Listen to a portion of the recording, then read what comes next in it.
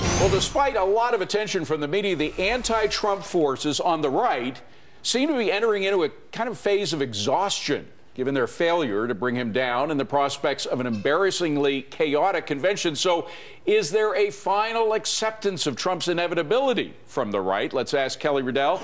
She's back with us, and Brad Blakeman, former deputy assistant to George W. Bush. Brad, I'm going to start with you. You once told me on air on this show that you would never, ever vote for Donald Trump. Are you willing to modify that a, a little bit? Yes, I am. And here's why. I think, I think Donald Trump has certainly earned uh, the right to get the nomination if he can close the deal. You know, I took a look at the book, The Art of the Deal, that he gave me a number of years ago, and one of the most important principles is closing the deal. We aren't there yet. But should we get there, I think we've got to put the party above the person. Wow. And even though Donald Trump is will be the standard bearer, if he gets to 1237, you got to stick with right. the party. This is, this is worth, the, the, nominee. This is really yeah. worth a news alert. So you would now uh, yes, vote would. for Donald Trump if he's the nominee. I would do that. Okay, all right. That's very interesting. Kelly, Peggy Noonan, I talked about a piece she wrote earlier today.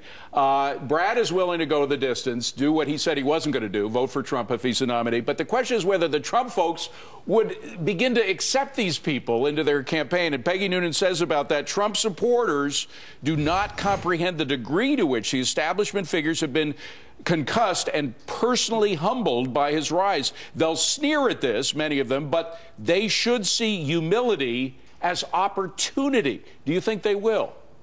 Um, I think that there's no reason not to once uh, the RNC and the anti Trump people start circling their wagons around Trump. Everyone wants a winner.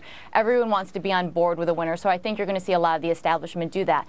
There is a bit of a double standard about the RNC, though. Now, back in 2012, they endorsed Mitt Romney as the presumptive nominee um, before he reached the threshold he needed to clinch the nomination. Mm-hmm. It was about a month later uh, that he actually got to that threshold. But what you saw was with the RNC's backing, and with the promotion, Mitt Romney was able to go from winning 43% of the general vote to 74% of the general vote. So I think that if the RNC were to come in and back Trump like they did Mitt Romney in 2012, you'll see Trump winning over All a right. larger well, percentage of the electorate. Uh, here's the problem, Brad. I, I, had on Dave McIntosh, who I'm sure you know from the Club for Growth, mm-hmm. a, a, delightful yes. guy. I've known him for a while.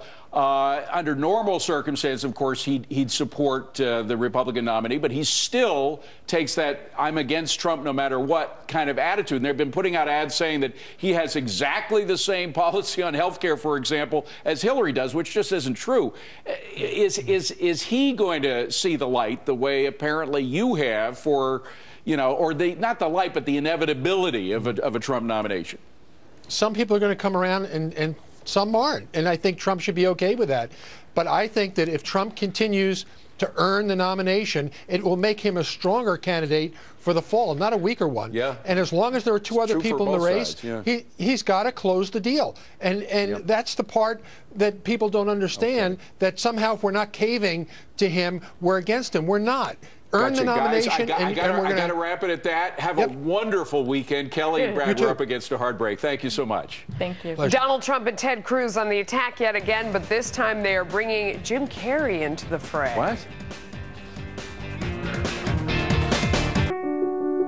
Every auto insurance policy has a number